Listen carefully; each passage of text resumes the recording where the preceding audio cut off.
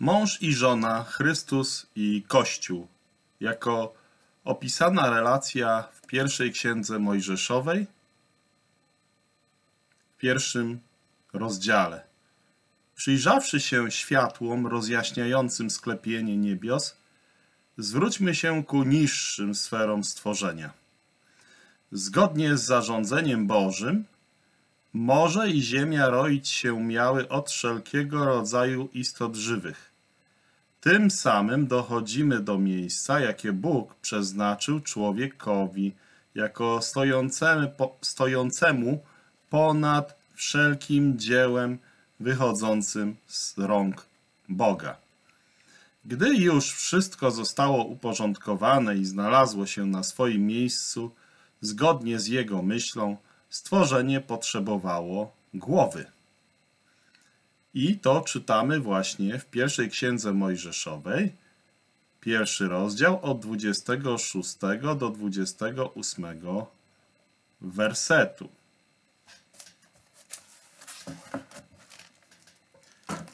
Uczyńmy człowieka na obraz nasz, podobnego do nas i niech panuje nad rybami morskimi i nad ptactwem niebios i nad bydłem i nad całą ziemią i nad wszelkim płazem pełzającym po ziemi i stworzył Bóg człowieka na obraz swój. Na obraz Boga stworzył go. Jako mężczyznę i niewiastę stworzył ich. I błogosławił im Bóg i rzekł do nich Bóg rozradzajcie się i rozmnażajcie się i napełniajcie ziemię i czyńcie ją sobie poddaną. Panujcie nad rybami morskimi i nad ptactwem niebios i nad wszelkimi zwierzętami, które się poruszają po ziemi. To czytamy właśnie w pierwszej Mojżeszowej, pierwszy rozdział od 26 do 28 wersetu warto zwrócić uwagę na występujące po sobie charakterystyczne wyrażenia. Stworzył go i stworzył ich. Prawda, dopiero w kolejnym, następnym rozdziale znajdujemy szczegółową relację stworzenia kobiety, niemniej jednak już tu, w pierwszym rozdziale widzimy jak Bóg ich błogosławi błogosławi, dając im wspólne miejsce w sprawowaniu rządów nad ziemią. Wszelkie niższe szczeble stworzenia zostają poddane ich zjednoczonemu panowaniu. Ewa otrzymała w Adamie wszystkie swoje błogosławieństwa oraz wysoką godność, chociaż patrząc z chronologicznego punktu widzenia, w scenie, jaką oglądamy, pierwszym rozdziale nie została jeszcze powołana do bytu, to jednak w zamyśle Boga była już wtedy postrzegana jako nieodłączna część mężczyzny. Płód ciała mego widziały oczy Twoje, w księgi Twoje wszystkie członki moje wpisane są. I dni, w których kształtowane były, gdy jeszcze żadnego z nich nie było.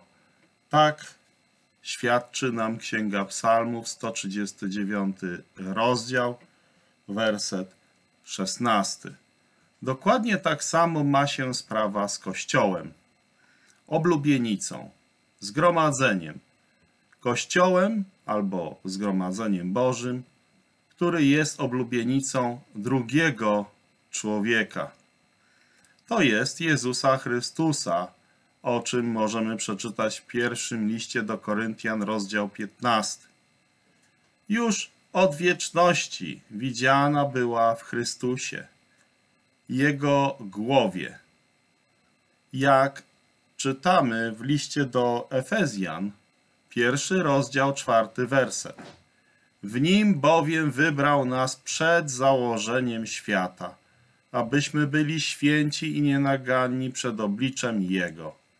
Zanim jeszcze którykolwiek z członków zgromadzenia urodził się, Bóg przeznaczył już każdego z nich, by stał się podobny do obrazu Jego Syna, bo tak świadczy nam list do Rzymian, 8 rozdział, 29 werset.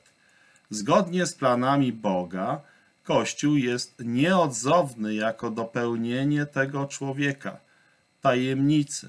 Dlatego też jest powołany, aby być pełnią tego, który sam wszystko we wszystkim wypełnia, jak to nam świadczy list do Efezjan, rozdział 1, werset 33.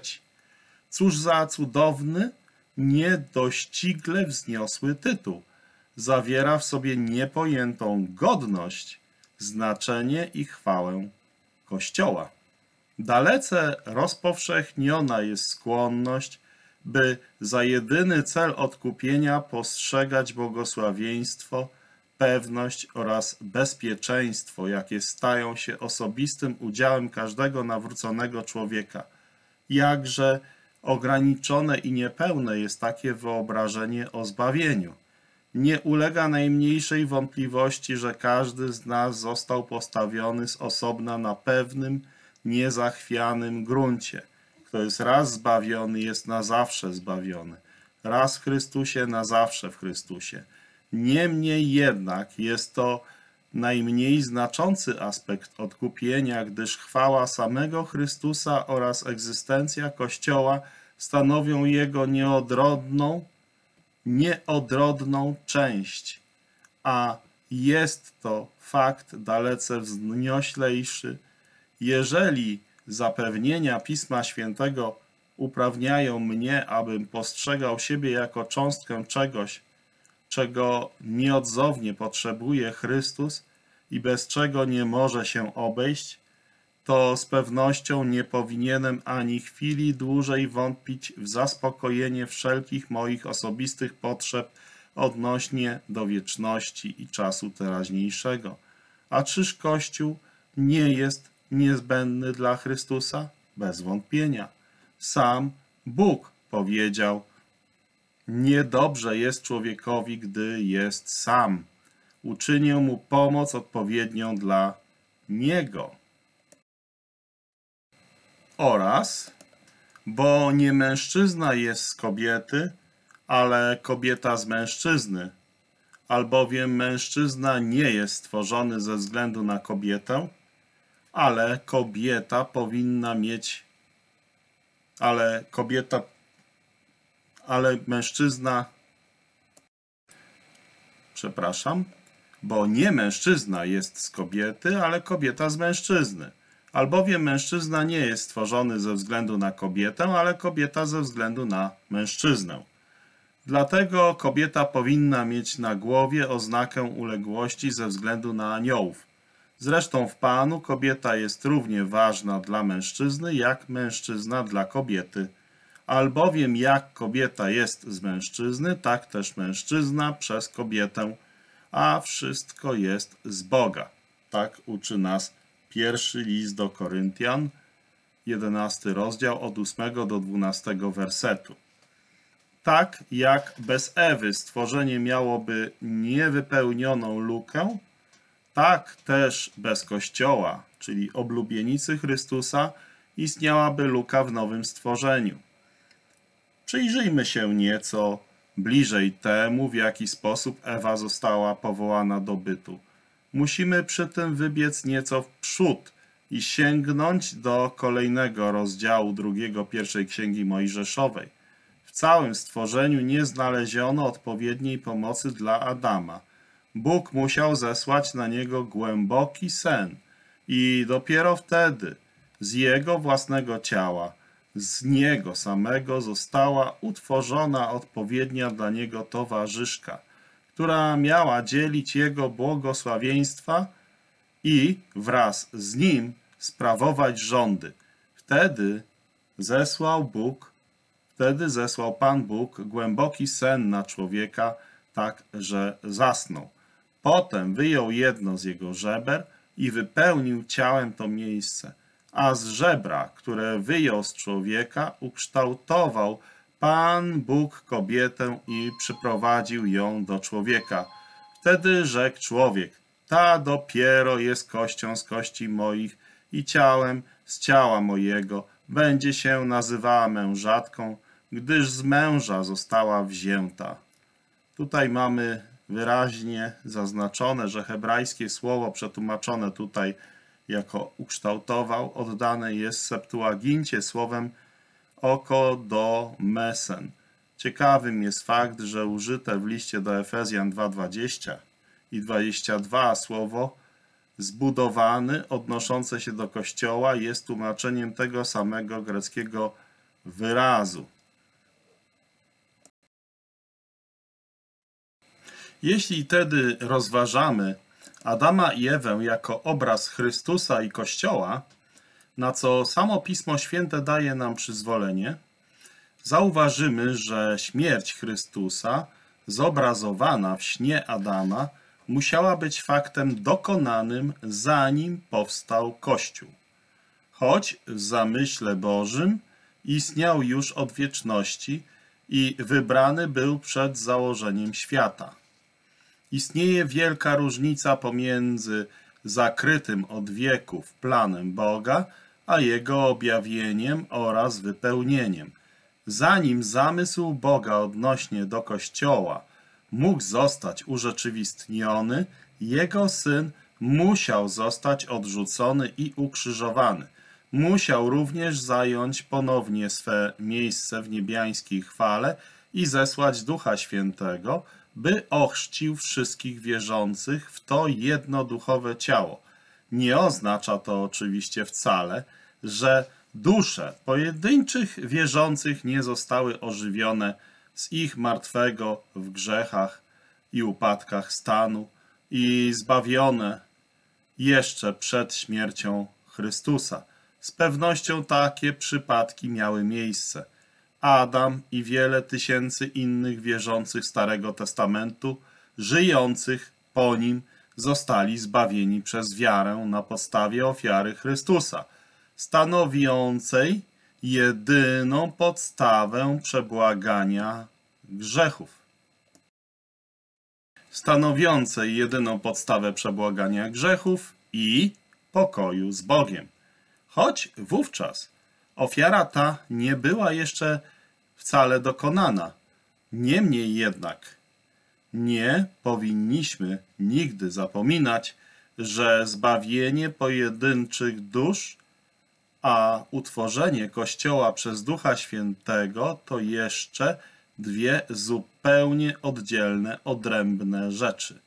Niestety, różnicy tej nie poświęca się wystarczająco uwagi i nawet tam, gdzie broni się jej doktrynalnie, broni się jej w doktrynie, można znaleźć w praktyce jedynie niewiele rezultatów wynikających ze zrozumienia tej bardzo ważnej i zasadniczej prawdy niepowtarzalne miejsce Kościoła, jego stanowisko, jego absolutnie szczególna relacja z drugim człowiekiem z nieba, czyli Chrystusem, z drugim człowiekiem z nieba, jego wyjątkowe przywileje i nadana mu godność, wszystko to, gdyby tylko zostało właściwie zrozumiane i przyjęte dzięki mocy Ducha Świętego przez jego członków, przyniosłoby z pewnością obfity, miły owoc, o czym mówi m.in.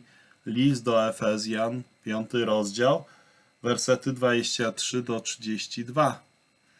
Rozważając roztaczający się przed nami tutaj w tekście pierwszej księgi Mojżeszowej obraz, możemy wyobrazić sobie choć trochę, jakie konsekwencje przyniosłoby ze sobą właściwe zrozumienie stanowiska Kościoła zgromadzenia.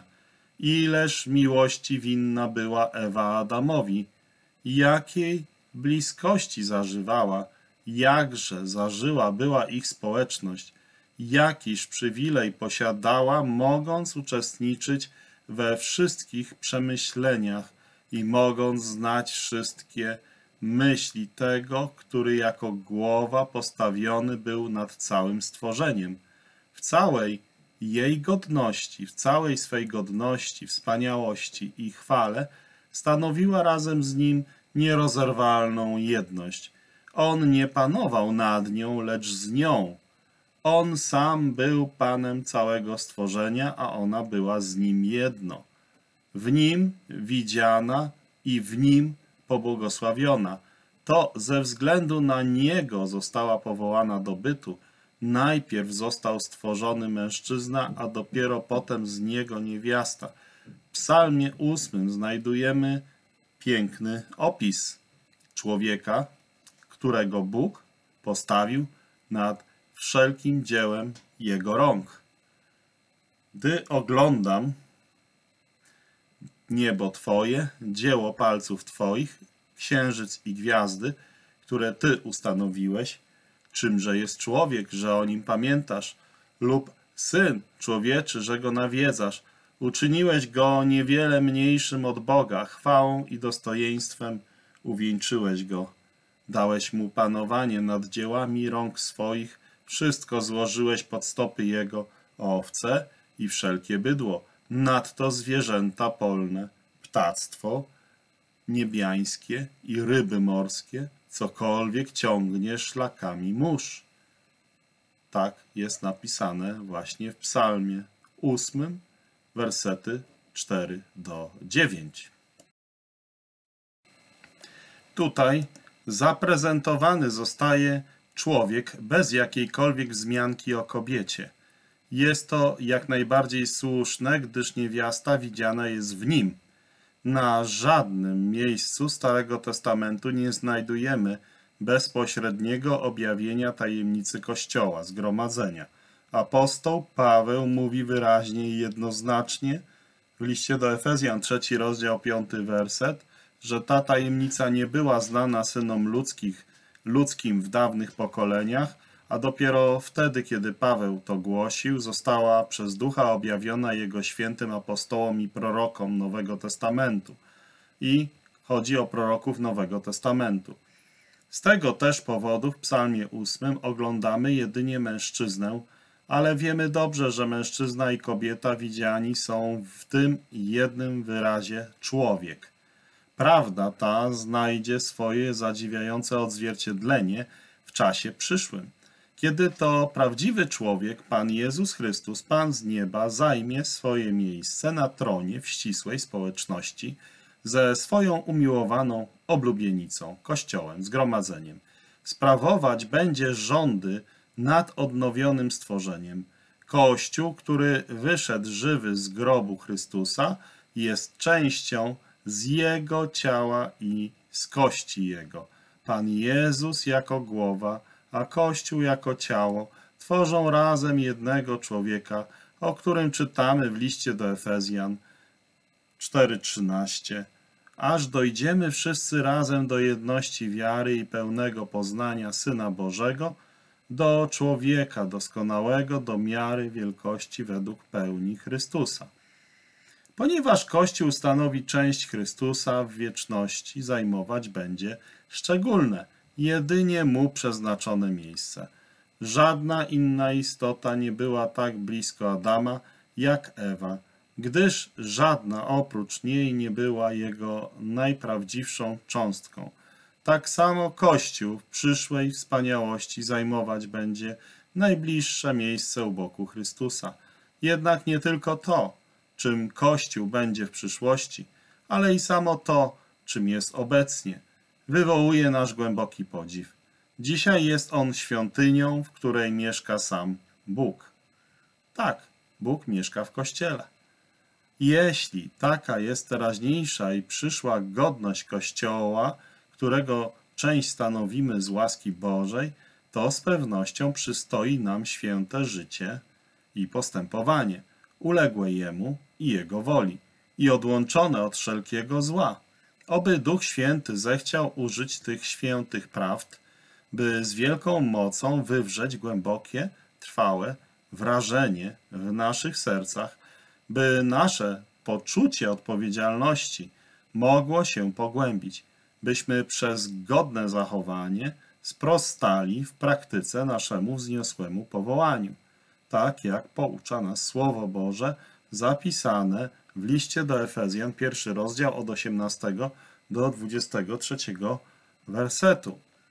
aby Bóg Pana naszego Jezusa Chrystusa, Ojciec chwały dał wam ducha mądrości i objawienia, ku poznaniu Jego i oświecił oczy serca waszego, abyście wiedzieli, jaka jest nadzieja, do której was powołał, i jakie bogactwo chwały jest udziałem świętych w dziedzictwie Jego i jak nadzwyczajna jest wielkość mocy Jego wobec nas, którzy wierzymy dzięki działaniu przemożnej siły Jego, jaką okazał w Chrystusie, gdy wzbudził Go z martwych i posadził po prawicy swojej w niebie ponad wszelką nadziemską władzą i zwierzchnością, i mocą, i panowaniem, i wszelkim imieniem, jakie może być wymienione, nie tylko w tym wieku, ale i w przyszłym. I wszystko poddał pod nogi Jego, a Jego samego ustanowił ponad wszystkim głową Kościoła, który jest ciałem Jego, pełnią tego, który sam wszystko we wszystkim wypełnia. Tak mamy napisane w Słowie Bożym w liście do Efezjan, pierwszy rozdział 18 do 23.